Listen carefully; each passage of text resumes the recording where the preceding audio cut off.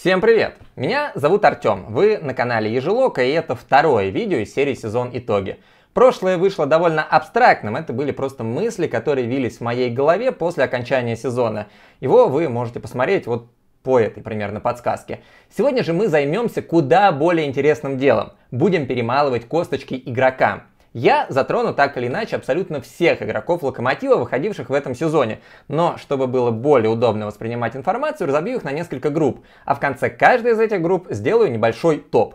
Вы тоже можете присоединиться к этой забаве, составить свой топ игроков. Лучших, худших, в какой-то из категорий или вообще всех – Можете поставить видео на паузу, оно будет долгим, подготовить чаек, вернуться, нажать на кнопку подписки, лайка и приступать к просмотру видео. Разговор у нас будет обстоятельнейший. Начнем с самого интересного, с новичков. Сезон 2021-2022, как известно, был объявлен перестроечным. Локомотив долго шел к необходимости этой перестройки. Меня часто обвиняют в потакательстве новому руководству Локомотива, но видит Бог и мои верные подписчики, что о том, что Локомотив в итоге придет к тому, что нужно будет кардинально менять состав, я говорю довольно давно. Нельзя до бесконечности ездить на игроках в возрасте 30 лет и старше и думать, что так оно будет всегда. Рано или поздно случится падение, и что самое неприятное, падение внезапное, единомоментное и без каких-то легких путей к спасению. В финале Кубка победного и успешного прошлогоднего костяк Локомотива составляли футболисты, явно прошедший пик своей карьеры. Даже если оставить в стороне Гилерми, который на вратарской позиции может и до 40 лет спокойно играть, то смотрите, Пабло 30 лет, Чурлука 35 лет, Рыбус 31 год, Крыховику 31 год, Смолову 31. В запасе сидел 33-летний Эдер, а Влад Игнатьев и Зелуиш не сидели в запасе, потому что занимались тем, чем занимаются 30-летние люди. Ходили по поликлиникам и больницам. Уж поверьте, я знаю на этой неделе просто ни с того ни с сего начала болеть нога, а ведь я даже в футбол лет 5 не играл. Вот такова жизнь 30-летних стариков. Вообще, смена поколений в клубах – это одна из самых сложных вещей, с которой приходится сталкиваться менеджерам. Пожалуй, только один величайший ум современности смог поставить это на поток и сохранять свою команду в боевом и голодном до побед состоянии сколько угодно долгое время. Это Алекс Фергюсон.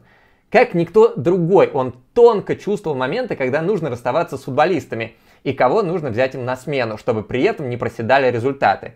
Возможно, другим таким станет Пеп Гвардиола, но пока что мы видели, как Пеп сам с удовольствием меняет команду, добившись всего, что хотел. Но это немножечко не то. К сожалению, не оказался таким гением и Василий Кикнадзе, который своими покупками только усугубил ситуацию. Команда стала и старее, и слабее. На место центрального защитника взяли Райковича, на место нападающего Зелуиша. И тот, и другой в футбол особо за локомотив не играли, хотя поначалу казалось, что Зелуиш вполне может дать нам голов и побед. Примечательный факт. В 2022 году Слободан Райкович за венгерский МТК Будапешт забил ровно столько же, сколько и Зелуиш за свой клуб из Саудовской Аравии. По одному голу. Главная проблема во всем этом, что Локомотив был вынужден тратить десятки миллионов евро, которые шли не на развитие команды, а на то, чтобы залатать очередную дыру. Возрастные футболисты, как это ни странно, очень плохо продавались, точнее не продавались вообще никак. Зато имели свойство получать длительные травмы, заканчивать карьеры или уходить по истечению контракта.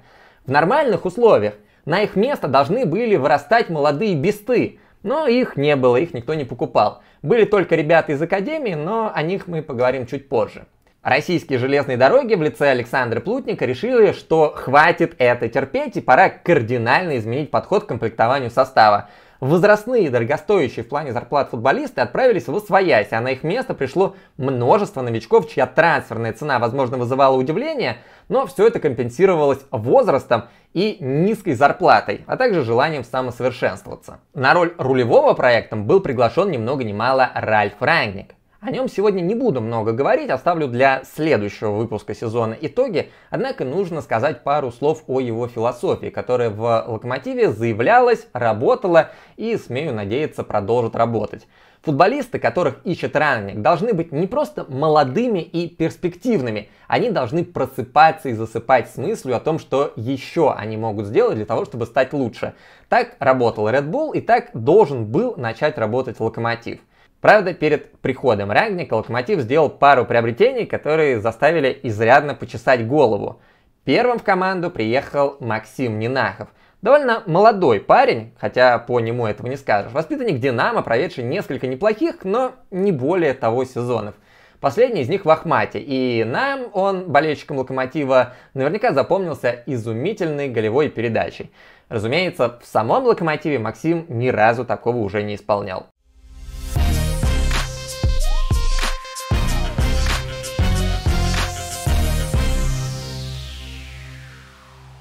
Практически весь сезон 2020-2021 на позиции левого защитника у нас отыграл Маци Рыбус. Лишь в последних матчах стал выходить Саша Сельянов, и он казался очень неплохим и универсальным вариантом на оба фланга.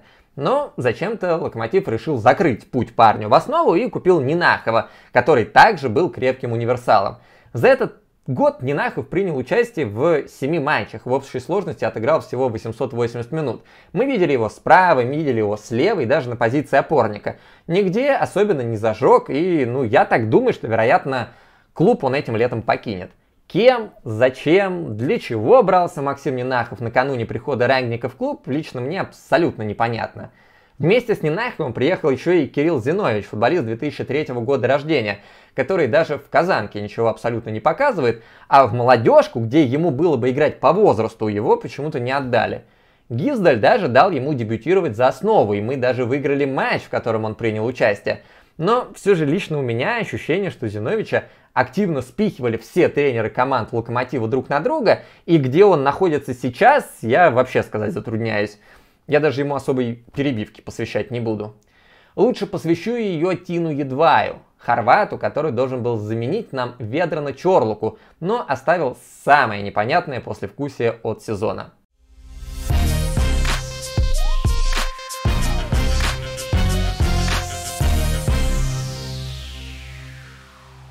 Едвай к своим 25 годам уже имеет довольно громкое имя. 26 матчей за сборную Хорватии и даже забитые мячи за нее. Трансферы в Рому и Байер за довольно немалые суммы денег. Но сказать, что Едвай был сколько-нибудь ярким игроком по европейским меркам решительно невозможно. Вроде бы все признавали его талант, а вот в футбол играть особо не давали. Да и не очень понятно, на какой позиции его использовать. Он то ли центральный защитник, то ли крайний. При этом сам едва и рвался доказать, что футбол он играть умеет, поэтому каждый раз, когда его очередной тренер в очередной команде усаживал на скамейку запасных, он требовал себя отдать куда-нибудь в аренду, ну и докатился в итоге до локомотива. Как это ни удивительно, ни одна из проблем Едвая так и не исчезла в локомотиве. Начнем с того, что Едвай это абсолютно не тот защитник, который был нужен Николичу. Ему нужен был спокойный, хладнокровный чурлукозаменитель, безупречно выбирающий позицию и выигрывающий подавляющее количество единоборств. Примерно таким был Пабло, но все-таки сильно ниже уровнем, чем Чурлука. Приехал Едвай, человек экспрессия, стиль которого был в том, чтобы опередить соперника в борьбе, даже если для этого придется бежать на чужую половину поля. Надо ли говорить, что к отбору мяча это приводило далеко не всегда, а вот к разрывам в линии обороны гарантированно. А тут еще и взрывной характер, из-за которого он заработал чуть ли не два подряд удаления – Пусть со Спартаком это было уже после окончания игры, но матч с Ахматом-то он пропустил, а мы в той игре проиграли вообще-то. В общем, брали мы человека, который должен был добавить в оборону класса, а получили бомбу замедленного действия. При этом нельзя сказать, что Едвай был плох. Нет, он и лучшим игроком матча признавался, и в символические сборные туры иногда входил. Когда у него шла игра, он действительно был на поле одним из лучших. Забивал красивые голы, шел с мячом до чужой штрафной. Но иногда случались матчи похуже, и тогда на партнеров ложилась двойная работа. Хорошо, если это были Пабло или Макеев.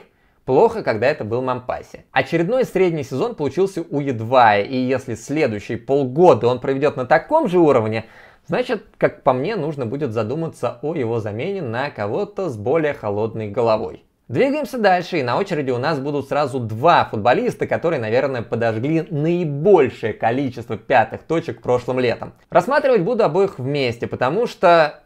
потому что могу, что вы мне сделаете.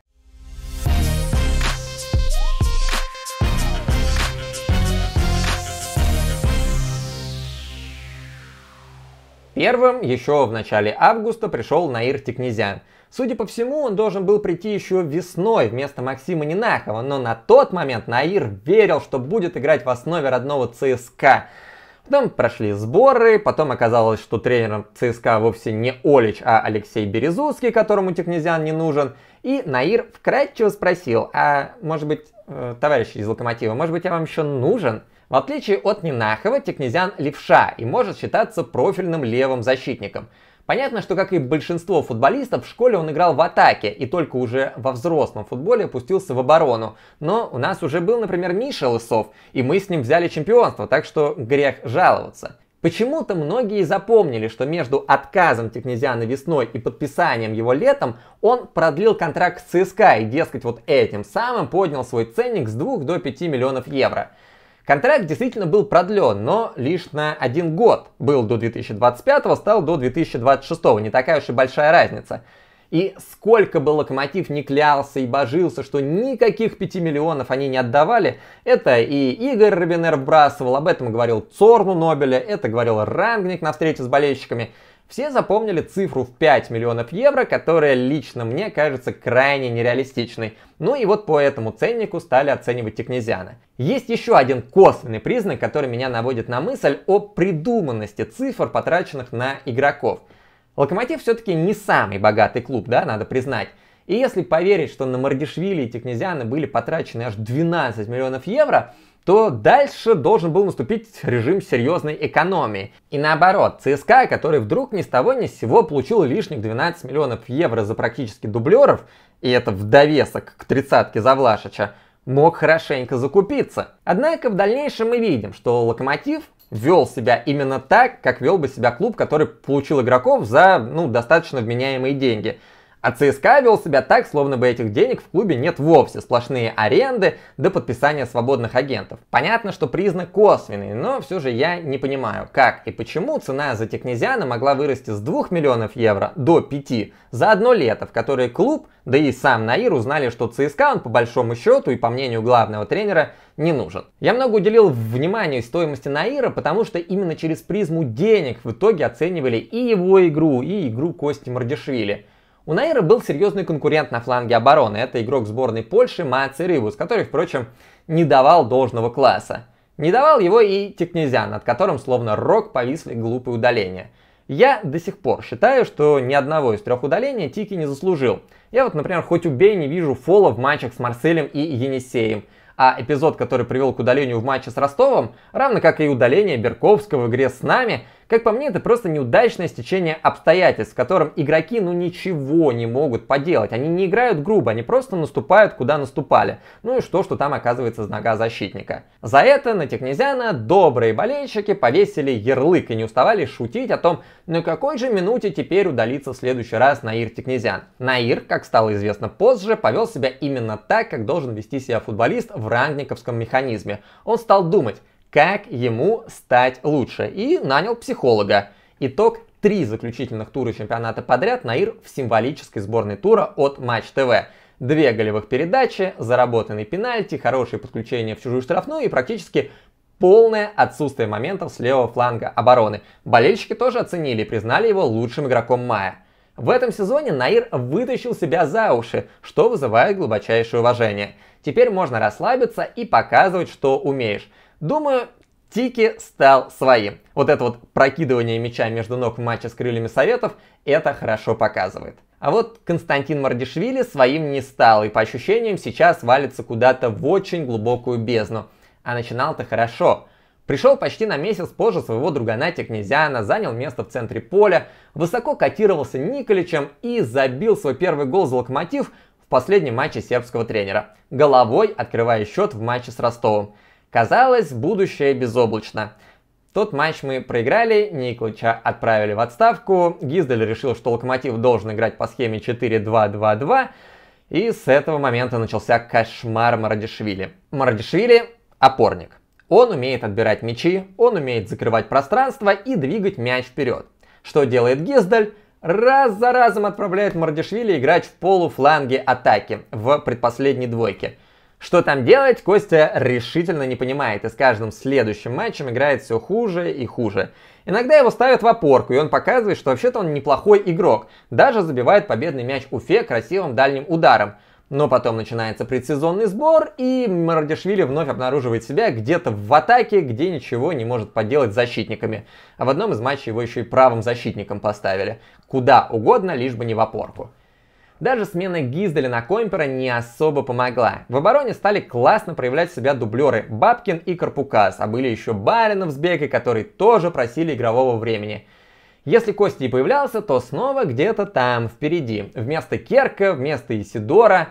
Разумеется, без какого-либо эффекта. Кажется, лишь раз его за весну отрядили на родную позицию в центре поля, в игре Сочи, и Костя себя проявил с наилучшей стороны. Разогнал голевую атаку, завершившуюся ударом Исидора, но в матче с Нижним Новгородом ему дали всего одну минуту, с Зенитом 8.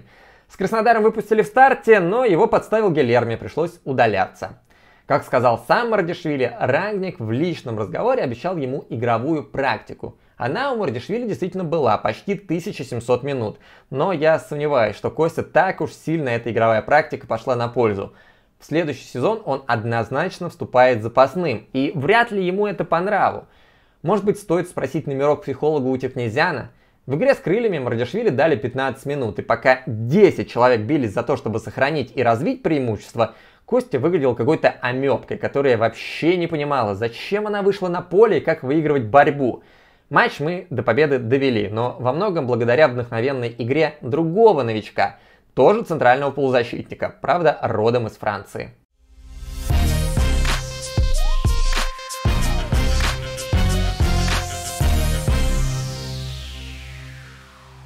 персональный объект хейта со стороны главного футбольного эксперта страны Ольги Юрьевны Смородской, Бека-Бека стал самым удивительным трансфером Рангника. Бека-Бека съездил на Олимпийские игры и благополучно провалился на них вместе со сборной Франции. Из мемуаров Беки мы знаем, что уговаривать его ездил не только Рангник, который поразил глубиной изучения Алексиса, но и, например, Дымбаба, который в этот момент учился ремеслу спортивного директора у Метра. Алексис дрогнул, но виной тому скорее не умение убеждать Рангника как таковое, а то, что в Лигу 1 его так и не позвали. А Локомотив отвалил Кану аж 6 миллионов евро. Едва ли не рекордная сумма для этого клуба. И тут мы можем быть уверены в правдивости цифр. Беки 20 лет, и это был самый молодой футболист, купленный в летнее трансферное окно. При этом у него не было опыта игры на уровне высшей лиги, и вообще опорный полузащитник Алексис Бека-Бека Провел подозрительно мало матчей на этой позиции для футболиста, которого берут за 6 миллионов. В молодежных командах Беков всегда играл правого защитника. В Кане частенько его ставили третьим центральным, в том числе в кубковом матче против ПСЖ. В тех нарезках, что удалось обнаружить, Бека очень любил двигать мяч вперед, но у него это не очень получалось. Шел на троих игроков, терял мяч, привозил атаки на свои ворота. Кан отнюдь не был лидером второго французского дивизиона, мягко говоря. Но Бека купили и бросили в бой на Динамо. Чуть ли не первым своим касанием Бека вывел Лисаковича один на один со своей половины поля, разрезающей передачей. Ну а вторым отобрал мяч в подкате. В этот момент многие подумали, и я в том числе, так, если это уровень одной из последних команд второго французского дивизиона, то какой уровень у российской премьер-лиги? К сожалению, оказалось, что такое озарение на Беку снисходит довольно редко. Поначалу еще были матчи, где он довольно бодро отнимал мячи, проходил первую линию обороны на дриблинге, выдавал передачи, поучаствовал в победном голе в ворота Нижнего Новгорода, закрыл гештальт еще раз, выведели Сакович один на один, и на этот раз уже с голевой передачей. Но все чаще стали пробиваться те элементы игры, которые у него были в Кане. Не добежать до нужной позиции, пойти в дриблинг и потерять мяч, сделать передачу прямо в соперника. Можно было понять усталость, но весенний отрезок Бека и вовсе начал запасным. Из-за травмы, но и не только. Когда он выходил на поле, он напоминал больше Колобка, нежели одного из самых перспективных футболистов, коим должен был стать. если честно, я уже думал, что мы не увидим нормального Беку до лета. Как вдруг, примерно в то же самое время, что и Тикнезян, Алексис вспомнил, как же все-таки нужно играть в эту игру. Он вышел в перерыве на Рубин и начал делать именно то, за что я его полюбил в первых матчах. Брал мяч, таскал его вперед, не замечая соперников. Да, в матче с Динамо снова была позиционная ошибка, которая привела к голу, но это все равно был тот самый Бека, про которого стамбульцы до сих пор пишут тонны сообщений «Come to Galatasaray». Если бы не волшебные тики, то я бы отдал Беке Беке звание лучшего игрока мая. Но я думаю, Бека обойдется и без моего голоса.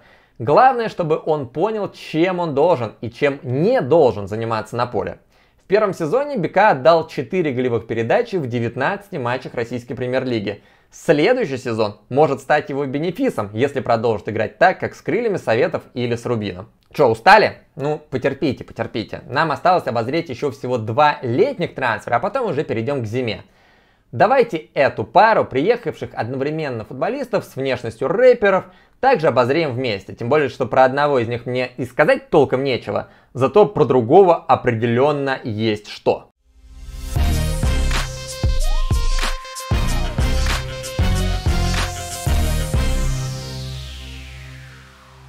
Давайте начнем с того, что попроще. Тина Анжарин – игрок-загадка. Его очень высоко котировал Тухель, он выходил за Челси в Лиге Чемпионов против Краснодара, фотографировался с Кубком Лиги Чемпионов, он забил в матче с Марселем фактически из ничего и ничего. Ну то есть мне вообще нечего сказать о его игре. Ну, долговязый, ну, медленный, но с таким широким шагом, что если уж разгонялся, то хрен его кто обгонит. Правда, на моей памяти в России он ускорялся раза два.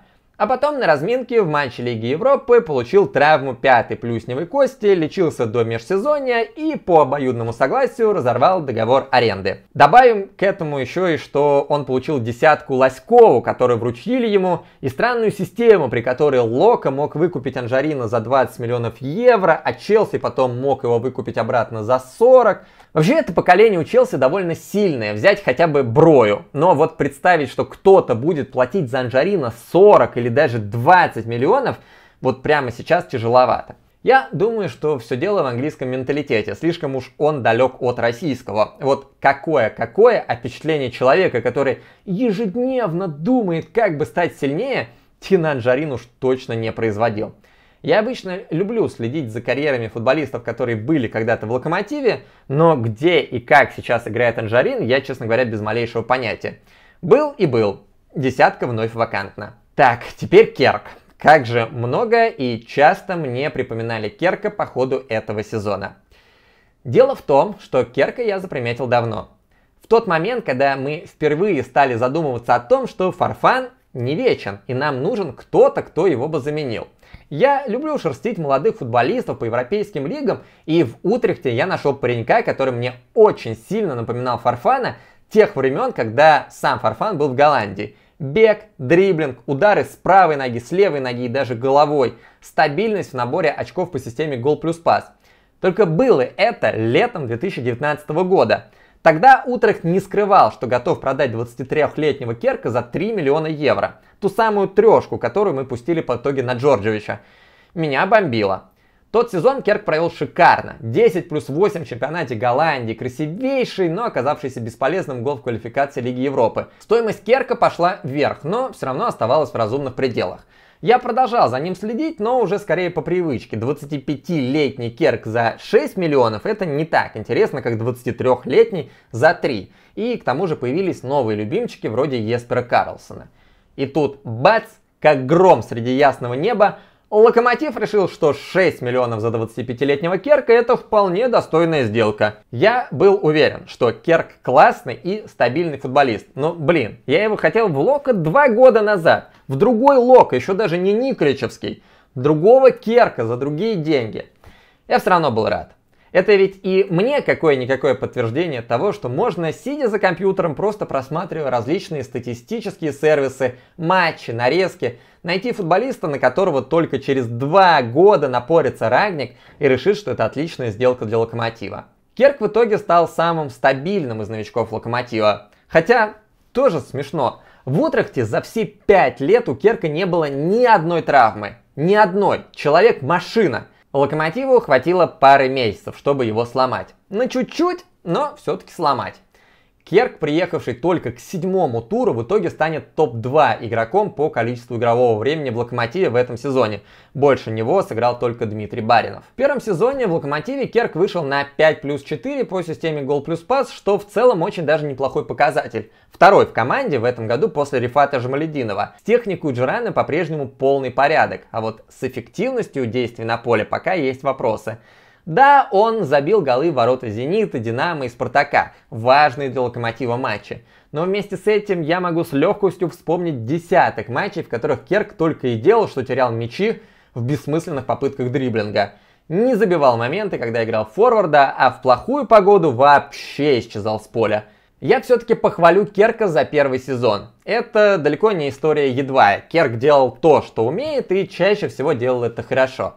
Этот парень интроверт и домосед. Сложно вообще представить, что он чувствует в Москве после Утрахта. Если что, в одном из интервью Керк сказал, что его удивили высокие дома в Москве. Он их не ожидал. Понятно, что в первый сезон ему было тяжело, но все-таки во втором сезоне я жду от Керка большей продуктивности. В дриблинге, в передаче, в реализации. Я знаю, как он умеет бить поворотом, а мы этого вообще толком не видели. А может и не увидим. Опять же, пару недель назад Керк сказал, что понятия не имеет о том, что Россию отстранили от Еврокубков, и теперь ему придется подумать, стоит ли ему продолжать карьеру в Локомотиве. Я бы хотел, чтобы он остался. Керк мой любимчик. Фух. С летними трансферами разобрались. Давайте обсуждать зимние. Их было всего три, они уже прошли без рангника, но получились крайне интригующими.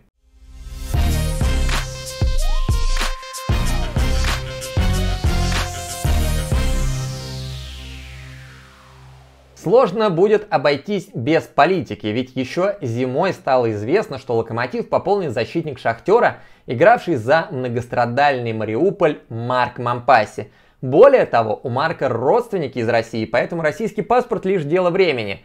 Сделка, как это стало принято у Локомотива, получилась рекордной, на этот раз для Академии Шахтера. Аж 3 миллиона евро за 18-летнего парня. Стратегия во всей своей красе. И снова мы видим парня, который очень хочет играть, но понимает, что игровой практики в родном клубе у него не будет. Блин, и я вообще не представляю, что чувствовал и чувствует сейчас Марк Мампаси. Я почти уверен, что спецоперация и то, что происходило с Мариуполем, из которого он уехал буквально за пару месяцев до, серьезно влияло на его игру. Но она просто не могла не влиять, черт возьми, ему на момент дебюта за Локомотив было всего 18 лет – Конечно, он косячил, как без этого, особенно в паре с Едваем. Но он не должен был играть в принципе. Но кроме Гизделя Локомотив покинул еще и Пабло, поэтому варианта не бросать в бой Мампаси особенно не было. Сначала он проигрывал единоборство всем подряд. Обрезал, иногда серьезно обрезал, но продолжал верить в свои сильные стороны. Первый пас, видение поля, игра на перехватах.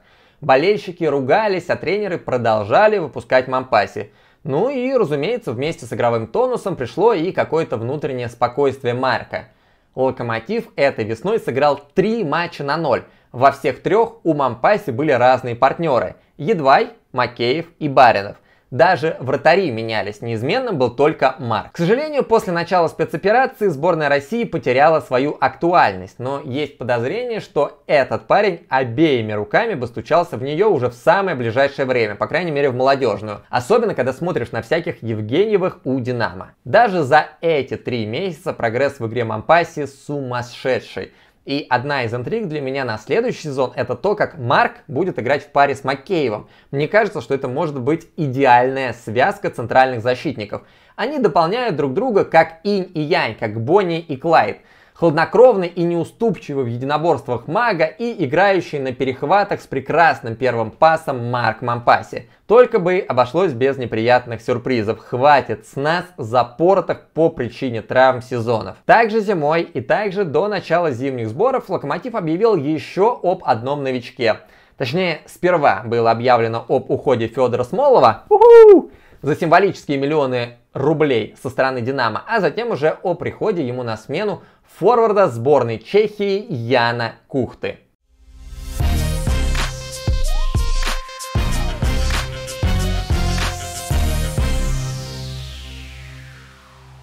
Едва прочитав про этот слух и погуглив, кто такой Ян Кухта, я о нем понятия не имел, я понял, что этот слух не просто так. Ян идеально подходил тому локомотиву, который строился у Гизделя – идеальный прессингующий форвард из команды, которая возвела этот самый прессинг в абсолют. Славия Яндрышиха Торпишовски. Да, я произнес это специально, чтобы похвастаться, что могу. Ян отнюдь не из тех форвардов, которые обводят пятерых защитников или клашматят какими-то зубодробительными ударами. В его игре вообще нет каких-то козырей, кроме зашкаливающей работоспособности. Он и сам это говорит. Все, что я умею, это бегать. И делает это с удовольствием. Я смотрел нарезки игры Яна Кухта и удивлялся, ну какого черта вратари отдают ему мячи? Они что, его не видят? А потом Локомотив играет первый товарищеский матч, и Ян Кухта обкрадывает очередного вратаря, закатывает мяч в пустые ворота. Ну, вот такой вот он, Ян Кухта. На сборах он забивал в каждом матче. В чемпионате также удачно не получилось. Но меня его игра устроила на все 100%. Правда, это уже не прессингующий локомотив Гизделя, где Кухта чувствовал себя как рыба в воде, а более осторожный локомотив Кемпера – и случались матчи, где Кухта мог вообще не потрогать мяч вблизи чужой штрафной. Это не его игра, и в ней он чувствует себя некомфортно. Случались даже замены на 45-й минуте. И это при том, что у нас в принципе больше нет ни одного центр-форварда. Тем не менее, я знаю, что если идет передача вперед, то где-то в это же самое время стартует Кухта. Обязательно и непременно. Он может не реализовать выход один на один, он может плохо пробить поворотом, но он будет в нужной точке, он напряжет защитников и вратаря, он отдаст хорошую развивающую передачу именно тогда, когда это нужно, а не через два часа, когда соперник уже полностью вернется. Он ведь мог стать соучастником самого красивого гола сезона, если бы не пластик Металлурга и не неуклюжесть Рифата Жамалединова. Смотрите, какая шикарная стенка. Конечно, во всем этом есть ложка дегтя. Например, красная карточка и дисквалификация Кухта за довольно глупый поступок в матче Сочи. Правда, к чести Кухты, далее мы не видели ничего даже близкого к этому. Зато видели пару победных голов, видели перелом в игре с Динамо после выхода Яна. В общем, в следующем сезоне, я думаю, Ян еще больше зажжет, благо теперь и помощник есть Верзила Раканьяц. Кухта хоть и забил головой Ахмату, но вообще это, конечно, совершенно не его дело играть головой. Ну и на сладкое. Любимец публики Уилсон Исидор. Хотя у меня его игра вызывает не так много восторгов, понятно, что о лучшем дебюте в клубе и мечтать нельзя.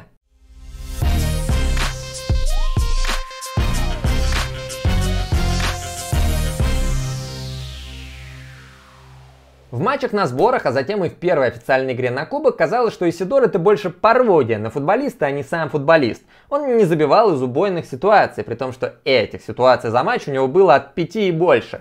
Приехал из третьей французской лиги, в Монако не закрепился, и как прикажете к такому игроку относиться? Ну, теперь ясно, что как рекордсмену в стартовых шести матчах Исидор забил 7 голов – в следующих пяти, правда, отличиться не удалось, а в игре с Динамо получил неприятную травму на последних минутах.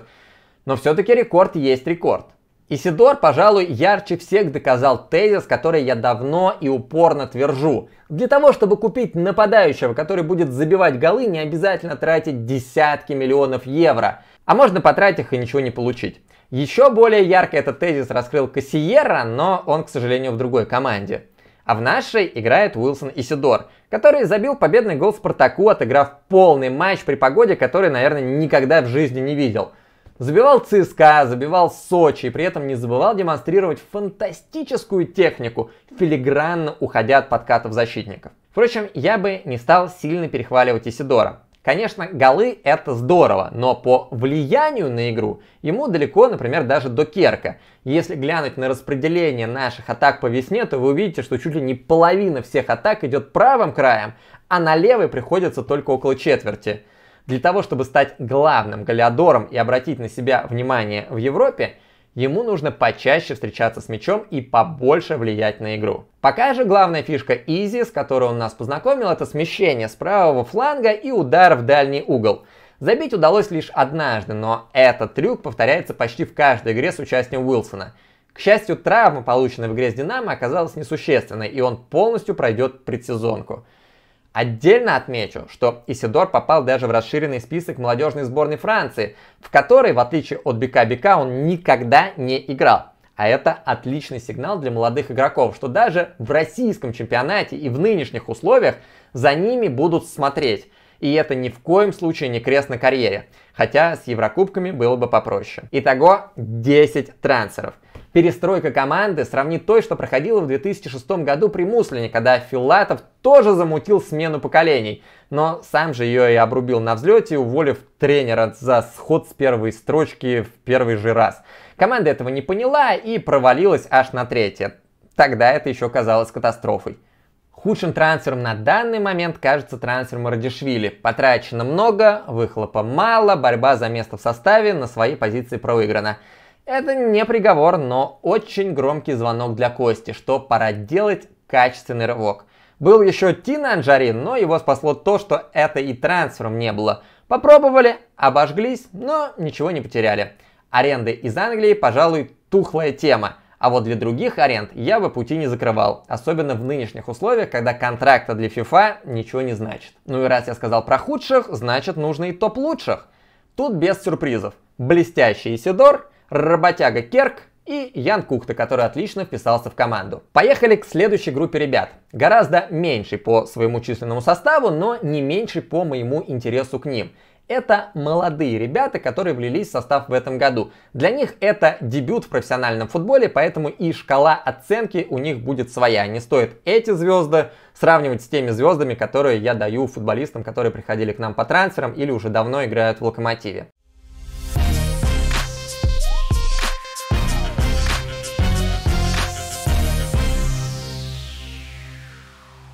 В лиге играют всего два футболиста 2004 года рождения. Это Худяков и Пеняев. Худякову уже исполнилось 18, Пеняеву пока еще 17, и это довольно уникальные истории для России, потому что у нас все-таки принято, чтобы молодому игроку сперва исполнилось лет эдак 25, и тогда уже можно его потихоньку ставить в состав. Особенно редко мы видим молодых ребят в воротах, потому что они ошибаются, на них валятся шишки, они ломаются психологически, и вот в России больше нет молодых вратарей.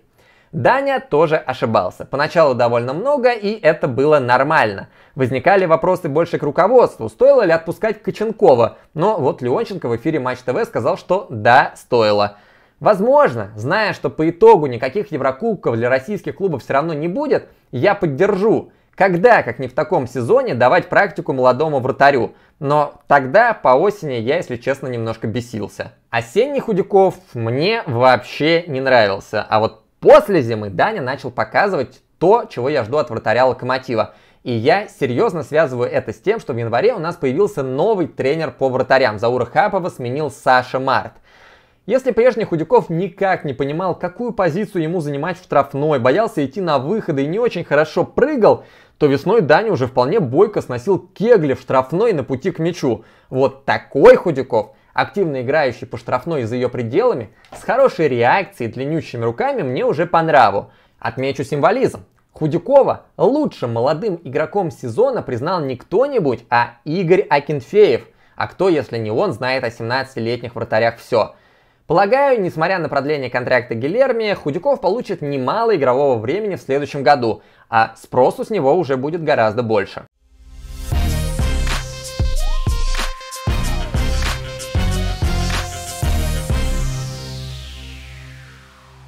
Петров ворвался в основу очень резко. Сентябрьский перерыв на сборной, товарищеский матч ЦСКА, в котором приняла участие молодежь и новички команды, а лучшим в итоге стал Максим Петров, заработавший пенальти и отпахавший по всему полю. Устоять Николич не мог и сходу на следующий же матч поставил Петрова в старт. Вышло не очень, как примерно и во всех остальных матчах, в которых Петров принял участие. Лучшие свои игры Петров показывает в товарищеских матчах, а в чемпионате все гораздо грустнее. Ни одного забитого мяча и лишь одна голевая, которая больше заслуга Рифата Жамалединова, чем самого Петрова. Активность, которую приносит он на поле, оборачивается какой-то суетой. Его футбол до сих пор детский, хотя вообще-то Максиму уже 21 год. Мне кажется, что для Максима, воспитанника клуба, который прошел всю систему с набора, выход на поле под гул болельщиков – это до сих пор очень важная и волнительная история. Мы видели его слезы после неудачных матчей. Но для профессионального футболиста такие эмоции – это скорее проблема. Когда хочешь сделать все и сразу, а не то, что умеешь и должен сделать в конкретной ситуации. Вполне возможно, Максиму стоит отправиться куда-нибудь в аренду, где не такая высокая конкуренция и где он будет выходить в основном составе. Если это волнение уйдет, то из Макса может получиться футболист уровня сборной, моторный, активный, умеющий разгонять атаки и открываться для их завершения. но времени для того, чтобы проявить себя в Локомотиве, все меньше. Там уже в дверь стучится следующее поколение, поколение Ларина и Першина.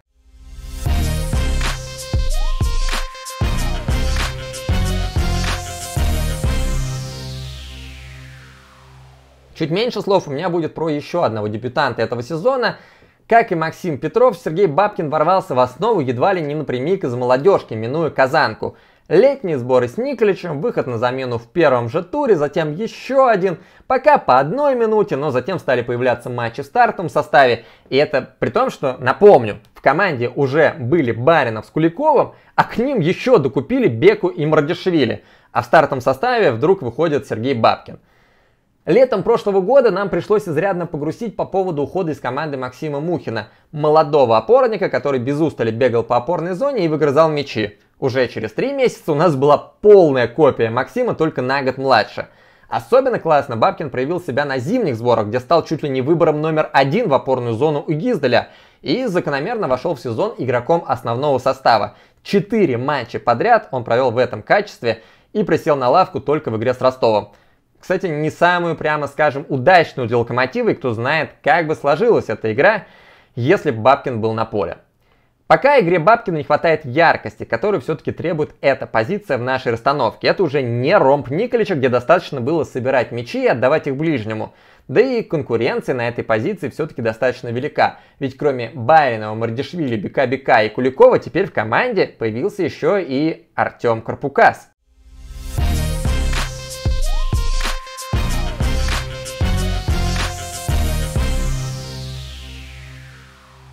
Это вообще удивительная история, которая сильно характеризует весь локомотив этого сезона. Всю осень, всю зиму, немножечко весны клуб твердил о том, как он хочет опираться на молодых, и особенно на воспитанников Академии. Но при этом на сбор не позвали лучшего игрока молодежной команды Артема Карпукаса. Вообще никого не позвали из тех, кто не играл за основу раньше. И такое случилось впервые за все то время, что я вообще наблюдаю за сборами Локомотива. Прошел всего месяц. Месяц После окончания этих сборов Локомотив не испытывал никакого кадрового дефицита на этой позиции, и вдруг оказалось, что Карпукас не только не слабее конкурентов по позиции, но и сильнее их выходит в стартовом составе не на кого-нибудь, а на Сочи, а потом и на Зенит. Это вообще-то первые две строчки турнирной таблицы, если кто забыл.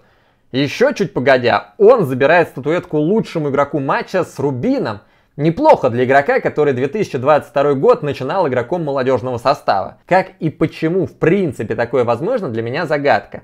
Возможно, именно это стало одним из факторов того, как спешно уволили Александра Самедова. Может быть, Александр уверял, что никаких талантов в молодежке нет, а там оказался вот такой вот карпукас. Что отличает Артема, так это поразительная чистота в действиях. Он практически не совершает фолов, но при этом может сыграть жестко и выцарапать безнадежный мяч за счет своих длинных ног.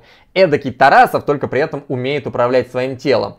При этом Карпукас в своих матчах стабильно держит отметку около 90% точности передач – в своем интервью Карпукас называл Серхио Бускетса как игрока, которым он восхищается. И эта ролевая модель очень здорово описывает стиль игры Артема. Конечно, рано петь дифирамбы Карпукасу, нужно еще посмотреть на стабильность его игры.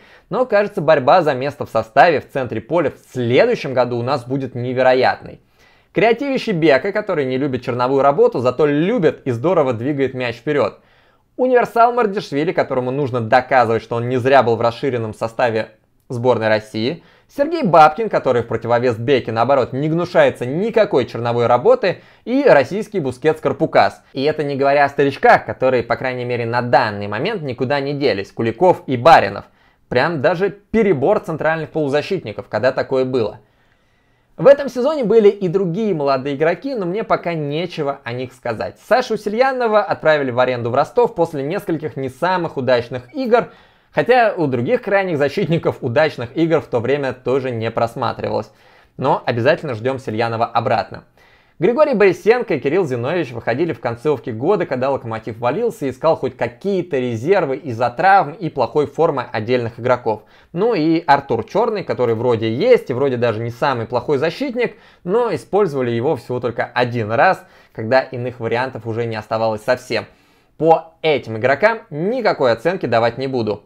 Топов тоже устраивать не буду, потому что все молодые игроки молодцы.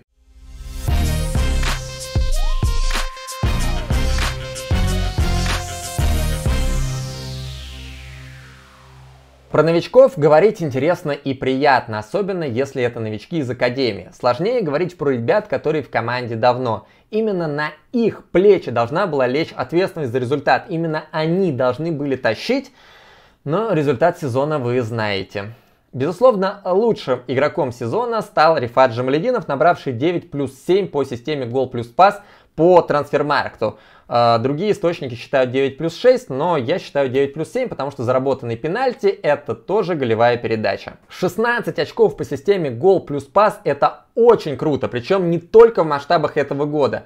За последние 10 лет только в фантастическом для себя сезоне 2019-2020 Леша Миранчук выбил больше и сразу же уехал в Аталанту.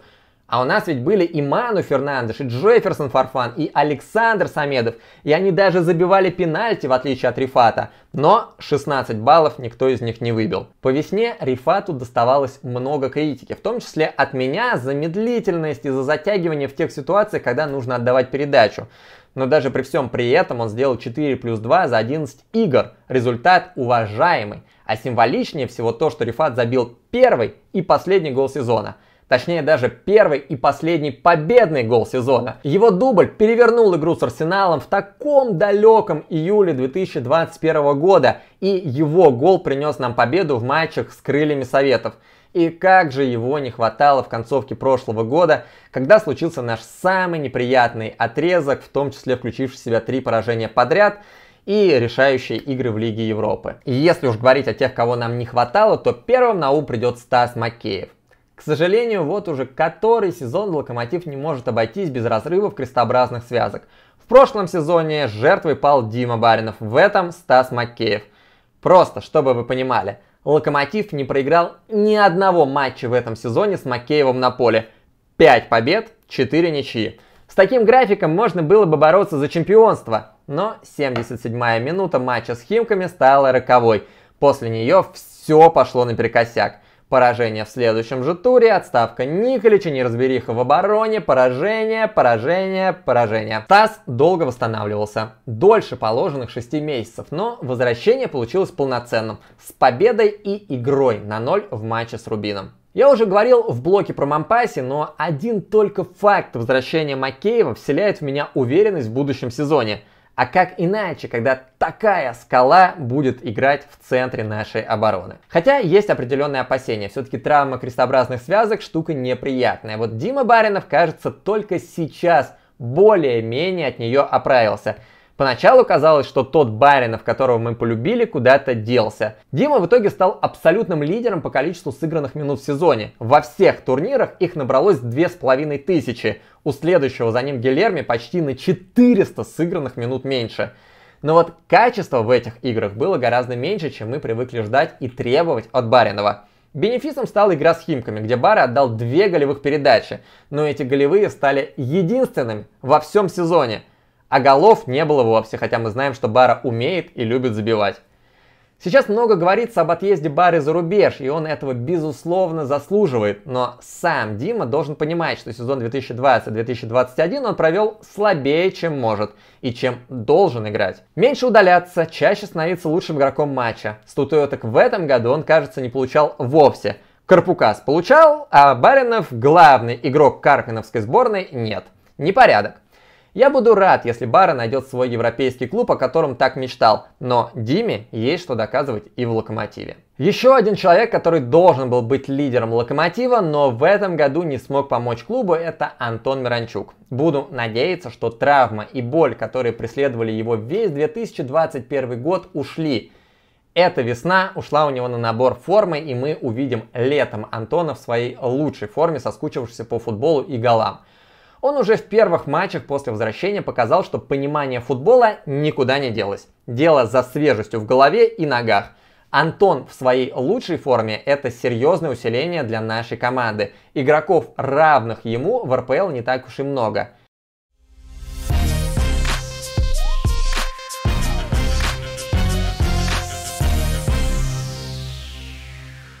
И я понимаю, что вы уже устали, а уж как я устал, поэтому давайте по остальным игрокам пройдемся совсем коротко. Маца Рыбус выдал несколько хороших матчей, но под конец сезона проиграл конкуренцию на Иру Технезиану. Рыбус сильно обрусел и никуда не рвется из России, но нужно ли продлевать с ним контракт на очередной сезон – Большой вопрос. Федор Смолов много забивал, но, как я уже сказал в прошлом выпуске, я безумно рад, что этот парень покинул Локомотив. У меня нет к нему никаких совершенно претензий как к человеку. Я совершенно не корю его ни за один незабитый им пенальти, но для меня Смолов это символ того, как нельзя играть нападающего, даже если он при этом много забивает. И я рад, что теперь эта проблема Динамо, а не наша. Дима Живоглядов, наоборот, немножко поменял мое отношение к нему. Если раньше я немножко бесился с его наличия в команде, с бессмысленного трансфера, когда у нас было мало денег, то теперь я даже начал ему симпатизировать. Он не гениальный футболист и никогда им не будет, но он трудяга и всегда отдается игре на 100%.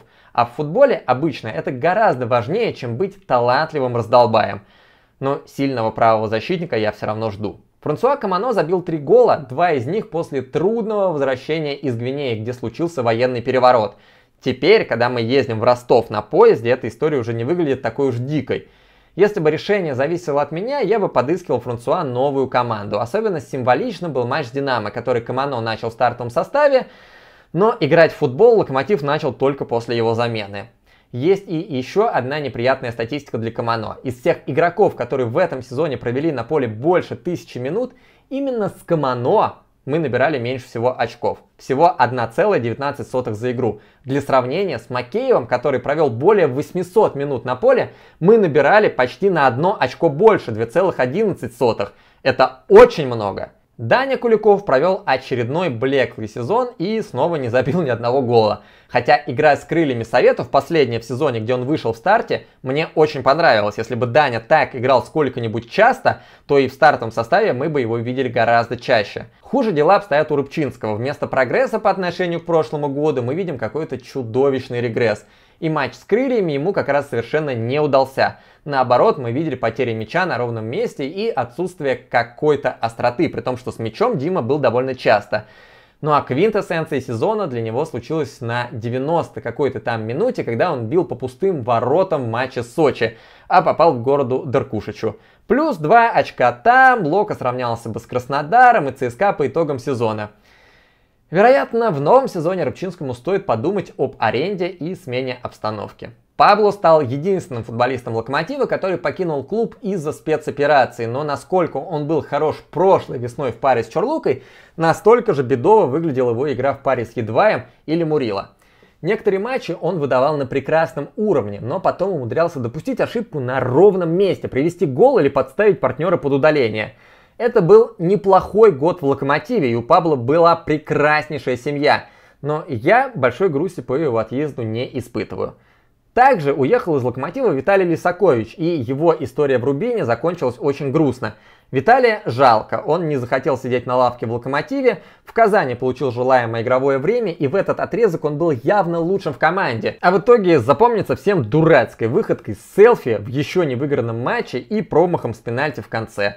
Мне было жалко, когда он ушел, но я понимаю, что в этом локомотиве его место будет на скамейке запасных, а он хочет играть. Также команду покинул Мурила, который совсем потерял место в основе Локомотива по осени, и Зе Луиш. Мурила сейчас разрывает бразильскую серию А, и я за него по-настоящему рад. Игрок сильный, но почему-то на него так и не обратили внимания в Европе. Ну а Зе Луиш сидит в запасе одного из худших арабских клубов.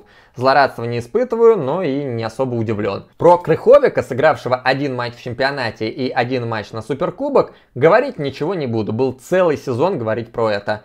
Только замечу, что из мая 2022 года продажа Крыховика выглядит как воровство 5 миллионов евро у Краснодара. Я и тогда был уверен, что это правильный шаг, ну а теперь и вовсе рад, что все случилось именно так, а не иначе. Фух, теперь никто не скажет, что меня мало на ютубе. Кажется, никого не забыл. Осталось совсем чуть-чуть. Составить топ лучших игроков этого сезона в составе Локомотива по тому, насколько эти ребята меня радовали своим появлением на поле и насколько огорчали. На первом месте будет Рифат Джамалединов. Я уже это сказал, поэтому интригу держать не буду. Тут даже альтернатив особо нет. Ни по гол плюс пас, ни по вкладу в игру никто не приблизился даже близко к Рифату. На второе место поставлю Артема Карпукаса. Он зашел в команду как к себе домой, и с каждым матчем смотрится все лучше и лучше. Ну а третьим пускай будет Уилсон и Сидор. За 7 голов, за атмосферу праздника, но как и Карпукасу с большущим авансом. Жду от Исидора гораздо большего. Согласны? Не согласны? Пишите в комментариях, обсудим. Это не последнее видео из цикла сезон итоги. В следующей серии я обозрею главные события и матчи этого года. Ну а на сегодня все. Спасибо, что досмотрели. До новых встреч!